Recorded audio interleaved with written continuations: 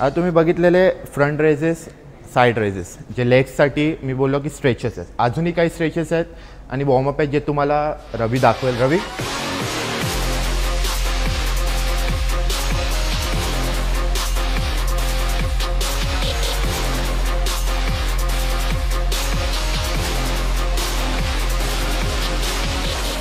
तुमचं सेप्सवर इकडनं प्रेशर आला पाहिजे बसला पाहिजे तुम्ही पूर्ण पोझिशनमध्ये जेवढं तुम्हाला होईल तेवढं पूर्ण. आणि जेवढा तुमचा तो पाय आहे जेवढा जेवढाही स्ट्रेच होईल तेवढं चांगलं आहे.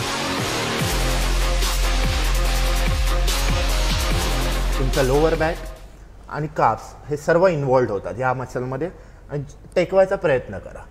असंच पुढच्या साईडला तुमचा हॅमस्ट्रिंग पूर्ण इन्वॉल्ड होतो ह्या ह्याच्यामध्ये स्ट्रेचेसमध्ये तसंच तुम्ही पाठच्या साईडलाही करू शकता तसं तर तुमचा हॅमस्ट्रिंग हा मसल पूर्णपणे फ्री होऊन जातो आणि काप्स हा मसाला पूर्णपणे फ्री होऊन जातो.